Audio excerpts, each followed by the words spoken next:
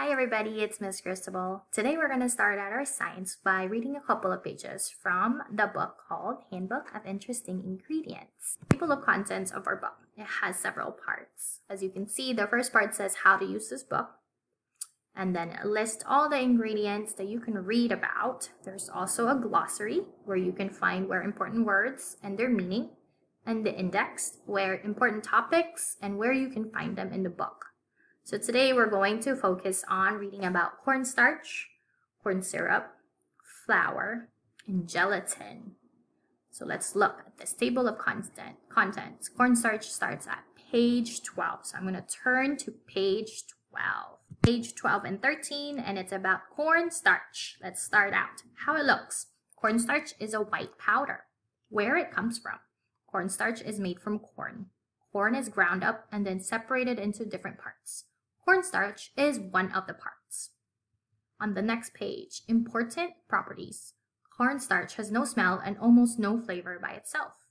When you mix it with cold water, cornstarch makes a smooth white paste. This mixture acts like a liquid if you stir it slowly. It acts like a solid if you stir it fast. When cornstarch is mixed with hot water, the mixture gets thick and almost clear. The mixture becomes sticky when it starts to dry out what it's used for. Because cornstarch makes mixtures thick, it is often used in cooking. Cornstarch is used to make thick sauces like gravy. Because cornstarch can become sticky because it is used to glue the paper around the outside of crayons. And finally, cause and effect. Cornstarch makes a mixture thick. Cornstarch can make a mixture sticky if mixed with hot water. And on the bottom of these two pages, we have a caption. On the left, says, cooks often use cornstarch to make gravy thick, and cornstarch keeps the paper labels glued onto these crayons. So that's cornstarch. Up next is corn syrup. Our next ingredient, corn syrup. How it looks. Corn syrup is a thick liquid. Light corn syrup is clear and light yellow. Dark corn syrup is brown where it comes from. Corn syrup is made from corn. Corn is ground up and then separated into different parts. Cornstarch is one of the parts.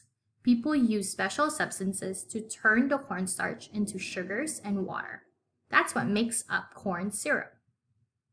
Important properties. Corn syrup has a sweet flavor. It has no smell. Corn syrup feels slippery when it is wet. It feels sticky when it starts to dry out.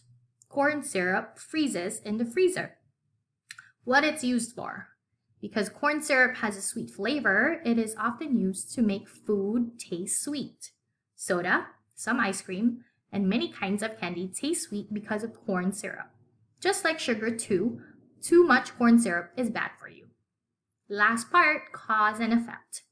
Corn syrup makes a mixture taste sweet. Corn syrup can make a mixture become sticky as the mixture starts to dry out.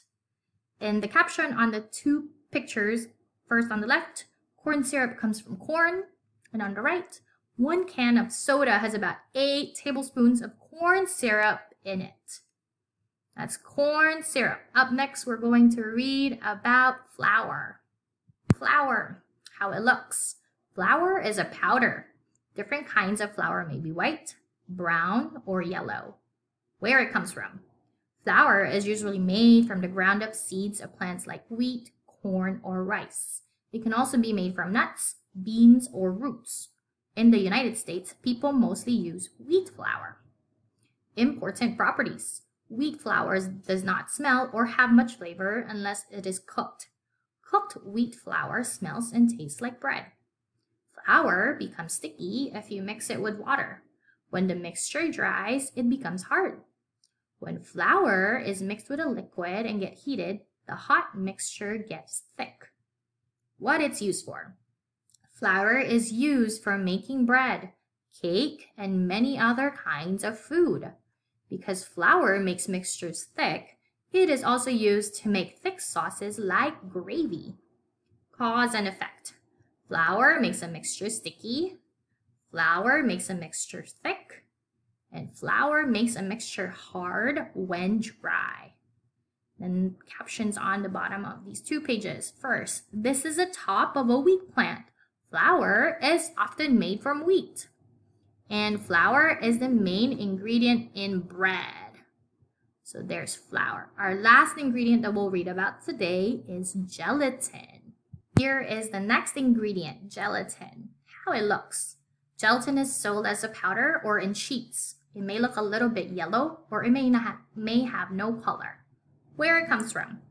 Gelatin is made from the bones and skin of animals. Bones and skin are cooked in big pots. Foam rises to the top of the pot. That foam is gelatin.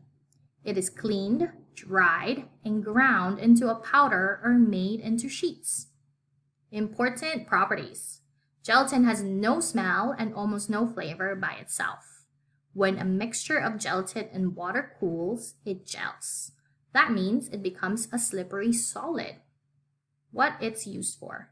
Because gelatin can make mixtures gel or become thick, it is used in many foods. Gelatin is often used in soup, gravy, sour cream, cream cheese, yogurt, chewing gum, and gummy candy. Because gelatin can be slippery, it is used to coat pills. Coating makes the pills easier to swallow. Cause and effect. Gelatin can make a mixture slippery. Gelatin can make a mixture thick. Gelatin can make a mixture gel. Gelatin can hold ingredients in a mixture together. The caption on this page says, a famous dessert is made from gelatin, sugar, and flavor.